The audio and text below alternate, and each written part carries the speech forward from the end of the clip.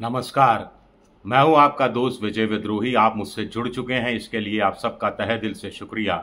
और अगले आठ दस मिनट आपसे जुड़े रहने की कोशिश करूँगा। तो राहुल गांधी का लोकसभा में आप सबने भाषण देख लिया। इससे पहले भी वो जो भारत यात्रा के दौरान बोलते रहे, जो राष्ट्रपति के अभिभाषण पर हुई धन्यवाद बहस, प्रस्ताव पर बहस के दौरान जो बोला, वो भी आप सुनते रहे। शिव जी की तस्वीर जो दिखाते रहे शिव जी की बारात का उन्होंने उदाहरण दिया अभिमन्यु, चक्रव्यूह पद्मव्यूह, अश्वत्थामा, द्रोणाचार्य, फिर तुलना उसकी। बड़ा गजब का भाषण था। लेकिन एक बड़ा सवाल उठता है कि क्या आपने ये सोचा कि कभी राहुल गांधी के ये भाषणों में इतना चमत्कार कहाँ से आ गया? इतना नयापन, इतनी खूबी कहाँ से आ गई? इतना अच्छा भाषण देना कैसे शुरू कर दिया? आखिर उनकी क्या ये टीम ये सारा काम करती है? नई टीम है, पुरानी टीम है, पुरानी और नई टीम का मिक्सचर है। और क्या राहुल गांधी सबसे बड़ी बात है कि भाषण खुद तैयार करते हैं, या भाषण कोई टीम तैयार करती है, या कोई एक व्यक्ति तैयार करता है, या फिर राहुल गांधी थीम बता देते हैं कि इस बार इस थीम को वो रखेंगे तो उस पर रिसर्च का काम होता है। या फिर राहुल गांधी को थीम बताई जाती है और राहुल गांधी ओके करते हैं, तब जाकर रिसर्च का काम होता है। बड़ा इंटरेस्टिंग है। कुल मिलाकर राहुल गांधी के आसपास 10 करीब करीब 9 या 10 ऐसे उनकी इनर कोटरी के लोग हैं, जिन पर वो 100 परसेंट यकीन करते हैं और वो उनकी नीतियाँ, रणनीति, चुनावी भाषण, उनकी रैलियाँ, उनके दौरे दौरे के दौरान सुरक्षा, तमाम चीज़ें उस उस हिसाब से तय होती हैं। कुल मिलाकर आपको एक तस्वीर दिखाना चाहता हूँ। ये इकोनॉमिक टाइम्स में छपा है, ये राहुल गांधी की टीम है। ये राहुल गांधी की टीम है, कुछ चेहरे आपको जाने पहचाने नज़र आ रहे होंगे, मल्लिकार्जुन खड़गे नज़र आ रहे होंगे, सैम पित्रोदा नज़र आ रहे होंगे, और भी कई गौरव गोगई नज़र आ रहे हैं, लेकिन कुछ अनजान से चेहरे भी हैं। अनजान से चेहरे भी हैं, इनकी भी बात कर लेते हैं। कुल मिलाकर बड़ा इंटरेस्टिंग है ये जानना कि एम, के सी वेणुगोपाल भी हैं, सुनील कोनुगुलू भी हैं। एक बार फिर देखिए, सुनील कोनुगुली भी दिख रहे हैं के सी वेणुगोपाल भी दिख रहे हैं, गोगई भी दिख रहे हैं, मल्लिकार्जुन खड़गे भी दिख रहे हैं, सैम पित्रोदा भी दिख रहे हैं। लेकिन एक, दो, तीन, चार, पाँच कुछ नए किस्म के चेहरे हैं जो बहुत कम आप जानते हैं। उनके बारे में मैं आपको बताने की कोशिश करूँगा कि ये आखिर चेहरे कौन से हैं और ये क्या काम करते हैं और भाषण कौन लिखता है। सबसे बड़ी बात है कि भाषण कौन लिखता है, ये जानने की सबसे ज़्यादा दिलचस्पी है, क्योंकि बीजेपी के नेताओं को भी शायद जानने की दिलचस्पी होगी। अब मोटे तौर पर सबसे ऊपर राहुल गांधी के सबसे करीबी और राहुल गांधी जिन पर सबसे ज़्यादा विश्वास करते हैं, वो इक्यासी साल के मल्लिकार्जुन खड़गे हैं। खड़गे साहब, इंडिया पॉलिटिकल फ्रंट के नेताओं से क्या रणनीति बनानी है, क्या बात करनी है, किस तरह से बात करनी है, ये तय कर लेते, तय करते हैं। पार्लियामेंट जब शुरू होती है तो उसमें कौन कौन से मुद्दे उठाने हैं, किस क्रम में मुद्दे उठाने हैं किस मुद्दे पर कितना ज़ोर देना है, किस मुद्दे पर कितना अड़ जाना है, लोकसभा हो चाहे राज्यसभा में हो, किस मुद्दे पर बहस के दौरान कौन नेता लीड करेगा या कौन नेता कौन सा पक्ष रखेगा, ये मोटे तौर पर तय होता है। और राहुल गांधी के भाषण का थोड़ा बहुत इनपुट मल्लिकार्जुन खड़गे की तरफ़ से भी जाता है पॉइंटर्स के रूप में जाता है, इससे ज़्यादा नहीं जाता।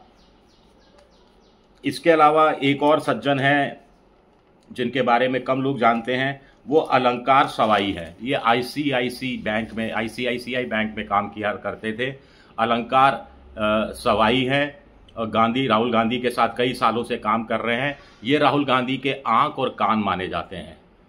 आँख और कान माने जाते हैं। राहुल गांधी जिससे भी मिलते हैं, इन्हीं की परमिशन से इन्हीं के कहने पर मिलते हैं। अलंकार ही तय करते हैं कौन मिलेगा, कब मिलेगा, किस समय मिलेगा। अम्बेडकरवादी हैं बुद्धिस्ट विचारधारा को फॉलो करते हैं, राहुल गांधी भी बुद्धिस्ट विचारधारा को फॉलो करते रहे हैं।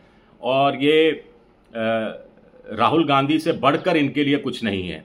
इन्होंने अपनी एक टीम पूरी इंडिया भर में बना रखी है, जो सीधा ज़मीनी हकीकत ग्राउंड इंटेलिजेंस उन तक पहुँचती है। वहाँ से वो राहुल गांधी तक पहुंचाते हैं कि कार्यकर्ता क्या सोच रहे हैं, विरोधी पक्ष क्या नीति, रणनीति बना रहा है, किस तरह की समस्याएँ उस राज्य विशेष में उठाई जा सकती हैं।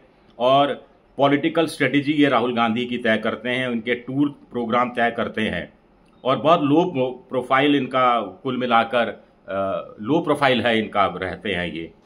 एक और है सुनील कौनुगुली कौनगुलू, प्रशांत किशोर के साथ पहले काम करते थे। अब तेलंगाना की जीत का, कर्नाटक की जीत का श्रेय इनको दिया जाता है।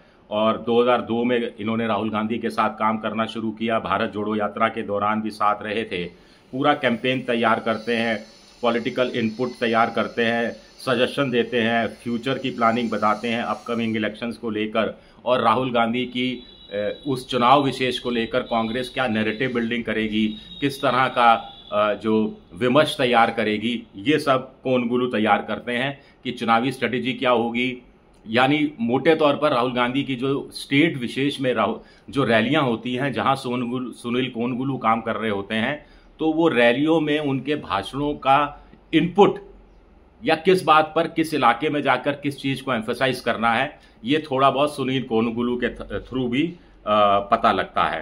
केसु वेणुगोपाल की बात कर लेते हैं, ये पुराने सज्जन हैं, आप अच्छी तरह से, इनको अच्छी तरह से जानते हैं। राहुल गांधी के ये भी कान और नाक माने जाते हैं। और जब राहुल गांधी पिछली बार अमेठी, यानी 2019 की बात कर रहा हूँ अमेठी के अलावा एक दूसरी जगह से चुनाव लड़ना चाहते थे तो वेणुगोपाल ने ही तय किया था कि उनको वायनाड से चुनाव लड़ना चाहिए और कन्विंस किया था। उसी साल ये जनरल सेक्रेटरी बने और अलायंस पार्टनर के साथ साथी दो, धड़े के जो अन्य साथी हैं, उनके साथ बातचीत मीटिंग ये सब कुछ के सी वेणुगोपाल तय करते हैं। सैम पित्रोदा के बारे में दो लाइन ही बोल दूँ। ओवरसीज जब विदेशी दौरे पर जाते हैं तो सैम पित्रोदा ये तय करते हैं, इनको लोकसभा चुनाव से पहले एक विवादास्पद बयान के बाद हटा दिया गया था, लेकिन उसके बाद फिर वो राहुल गांधी की टीम में आ गए हैं।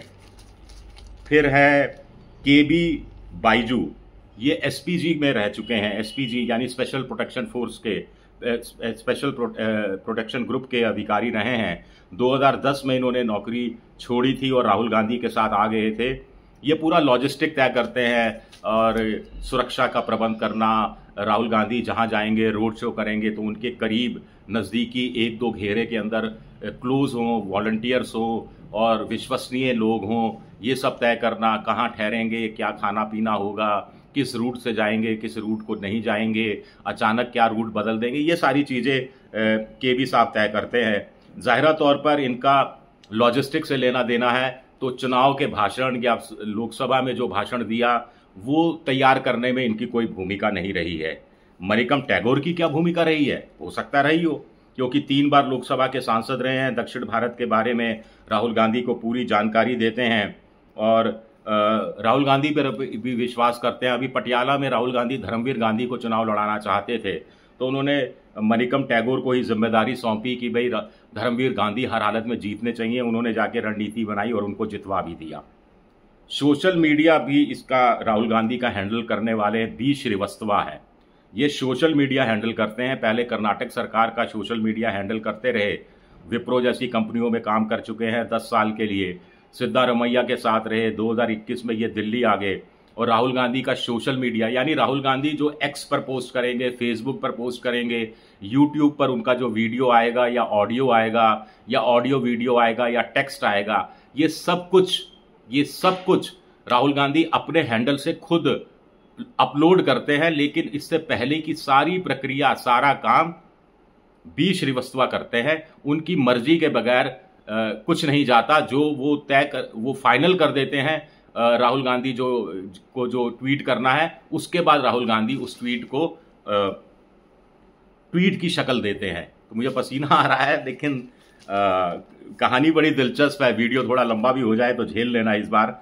इसके अलावा ये ये कोर टीम इन्होंने तैयार कर रखी है, बी श्रीवस्तवा ने, कि जो उनके राहुल गांधी की मीटिंग्स को लेकर, उनकी यात्राओं को लेकर, उनके इलेक्शन कार्यक्रमों को लेकर और कंटेंट जो सोशल मीडिया पर डाला जाना है ये तमाम चीज़ें वो तय करते हैं और राहुल गांधी उसको अप्रूव बाद में करते हैं और उसके बाद वो जनता के लिए उपलब्ध हो पाता है। तो इनकी भी भूमिका थोड़ी बहुत रहती होगी चुनावी भाषण में, फिर कौन बच गया? क्या गौरव गोगई तय करते हैं?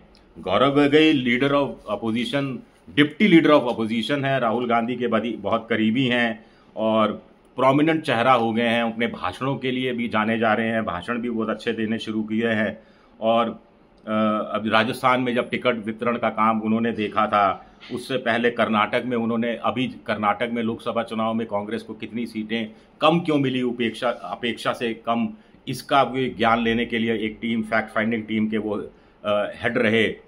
और राहुल गांधी इनसे नॉर्थ ईस्ट के स्टेट के बारे में इनपुट लेते रहते हैं। राष्ट्रीय स्तर के मुद्दे क्या हैं? बड़ी चीज़ें क्या चल रही हैं? इनको लेकर भी इनपुट लेते रहते हैं। वैसे तो राहुल गांधी ये इनपुट दूसरे नेताओं से भी, जो बी श्रीवस्तवा है, उनसे भी लेते रहते हैं। सुनील कोनुकुलू से चुनाव के दौरान इनपुट लेते रहते हैं। अलंकार सवाई उनके आँख और कान है। वो उनके नॉन पॉलिटिकल एक्टिविस्ट और यंगस्टर से राहुल गांधी को मिलाने का, यानी इन्फ्लुएंसर्स को मिलाने का काम ज़्यादातर करते रहे हैं। अब एक सज्जन बच गए, ये है कौशल विद्यार्थी। बिहार के हैं, ऑक्सफोर्ड यूनिवर्सिटी से ग्रेजुएट हैं, और ये अलंकार की तरह राहुल गांधी के बहुत करीबी हैं। 2019 में ये ऑफिशियल पर्सनल सेक्रेटरी हुआ करते थे राहुल गांधी के। और ये हमेशा राहुल गांधी के, जैसे पार्लियामेंट सत्र चलता है, संसद का सत्र तो राहुल गांधी जब आते हैं तो आप राहुल गांधी पर नज़र डालें तो उसके आसपास के लोगों पर नज़र डालें तो कांग्रेस के कुछ प्रोमिनेंट चेहरे दिखाई देंगे। उसमें से एक चेहरा और दिखाई देगा, जो इतना प्रोमिनेंट नहीं होगा, लेकिन हर बार वो होता है, चश्मे वाला चेहरा। ये है कौशल विद्यार्थी का चेहरा, जो राहुल गांधी के साथ ऐसे समय में ज़्यादा दिखाई देते हैं। वो गांधी और अदर पॉलिटिकल लीडर्स के बीच में एक लिंक का काम करते हैं। राहुल गांधी को अपनी बात जो दूसरे नेताओं तक पहुंचानी होती है, वो कौशल विद्यार्थी के माध्यम से पहुंचाते हैं। और पार्टी के अंदर के नेताओं को और दूसरे नेताओं को भी अपनी बात अगर राहुल गांधी तक पहुंचानी होती है तो वो कौशल विद्यार्थी के माध्यम से पहुंचाते हैं। इसके अलावा राहुल ये जो कौशल विद्यार्थी हैं, राहुल गांधी की मीटिंग सेट करना, अपॉइंटमेंट सेट करना और उनका डे प्लान तैयार करना। डे प्लान तैयार करने का काम कौशल विद्यार्थी करते हैं।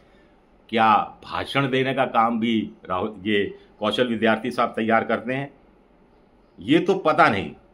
लेकिन राहुल गांधी जो स्पीच देते हैं, खासतौर से लोकसभा संसद सत्र के दौरान जो स्पीच देते हैं, उसके लिए बेहद ज़रूरी इनपुट कौन देता है? कौशल विद्यार्थी देते हैं। कौशल विद्यार्थी राहुल गांधी को स्पीच के बहुत ज़रूरी इनपुट देते हैं। उनका एक रिसर्च का एक बैकएंड है। उसकी वो सहायता लेते हैं। यानी कुछ उनको खास आइडिया देना है राहुल गांधी को तो राहुल गांधी को आइडिया दिया, राहुल गांधी ने उसको अप्रूव कर दिया। तो फिर अपनी रिसर्च टीम से उस आइडिया के बारे में और खंगाल, और ज़्यादा गहराई से जाँच पड़ताल की जाती है, और ज़्यादा उसमें से इनपुट निकाला जाता है, और वो राहुल गांधी को प्रोवाइड कराया जाता है। बहुत सॉफ्ट स्पोकन है कौशल विद्यार्थी, और बहुत अप्रोचेबल है। यानी पार्टी के नेताओं के लिए सहज उपलब्ध हैं, और वो हर किसी की सुनते हैं। सबसे अच्छी बात है कि वो हर किसी की सुनते हैं, चाहे राहुल गांधी की उन्हीं के करीबी के पार्टी के नेता आलोचना करें, तारीफ़ करें, जो भी करें, और जो भी फीडबैक होता है वो राहुल गांधी तक पहुंचाते हैं। और सबसे बड़ी बात है कि चुनावी भाषण तो पता नहीं सोन, उसमें सुनील कोनगुलू और दूसरे नेताओं की भी भूमिका हो सकती है बी श्रीवास्तवा की। लेकिन माना जाता है कि पार्लियामेंट में जो स्पीच तैयार होती है, उसके पीछे कौशल विद्यार्थी की एक बड़ी भूमिका रहती है। शुक्रिया मेरा ये वीडियो देखने के लिए। पसंद आए तो लाइक कीजिए सब्सक्राइब कीजिए शेयर कीजिए और आप मेंबरशिप ड्राइव में भी जा सकते हैं और मेरी आर्थिक मदद की भी कोशिश कर सकते हैं, जिसका मैं आभारी रहूँगा। एक्स यानी ट्विटर पर मैं विद्रोही सेवन के नाम से हूँ। शुक्रिया आप सबका। बहुत बहुत शुक्रिया।